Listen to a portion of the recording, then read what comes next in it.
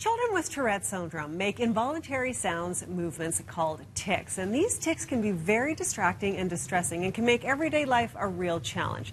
But what if you could turn down those tics? That's what researchers at the University of Calgary are trying to do for Brain Awareness Week.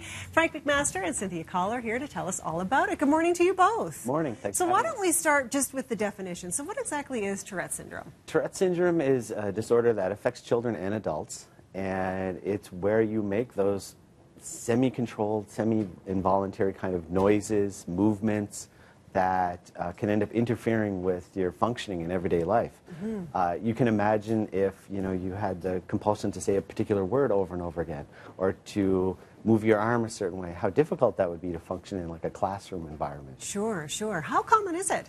It affects about 1% of youth, and there's about 80,000 Canadians affected across uh, the country uh, with Tourette syndrome. So it is fairly common, actually, for a neurological uh, condition like that. Right. So, what are the current treatment options that are available? What can you do for these kids currently? The current treatment options are, are unfortunately fairly limited. Uh, most uh, involve uh, medications which carry pretty significant side effects, some of them, mm-hmm. and have limited effectiveness.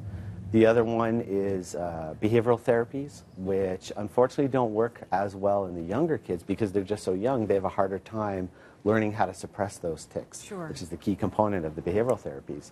So there really is a need for something new right. to, to happen. Right, and this is where Cynthia comes in. So Cynthia, you're really researching this right now. You're working on some new stuff. Tell us all about it. All right. Well, thanks to funding agencies like BranchOut Neurological Foundation, the Hotchkiss Brain Institute, and CHR, we're able to do this absolutely amazing uh, research at the University of Calgary and the Alberta Children's Hospital. So my research is using this non-invasive form of brain stimulation called transcranial magnetic stimulation, uh, which uses a magnetic field to modulate what we believe to be the problematic region of the brain in Tourette syndrome. So we're using this brain stimulation to kind of calm down that area that's overactive in this disorder to, in hopes of helping these kids gain more control over their tics. Right. Yeah. You did a wonderful pitch on this, and mm-hmm. it seemed really straightforward. You know, I kind of got exactly what you were trying to do in this short amount of time. Yeah. But what is it that you really hope you could do sort of in the long term for some, you know, children with this? Well, I mean, the big thing right now is uh, that this, this disorder is incredibly misunderstood and stigmatized. So a big first goal is to educate people on the disorder to, so that there is less bullying, so that people don't misunderstand it and you know make these kids suffer even more because the the quality of life outcomes are pretty poor in kids who do get bullied for this social discrimination against the tics.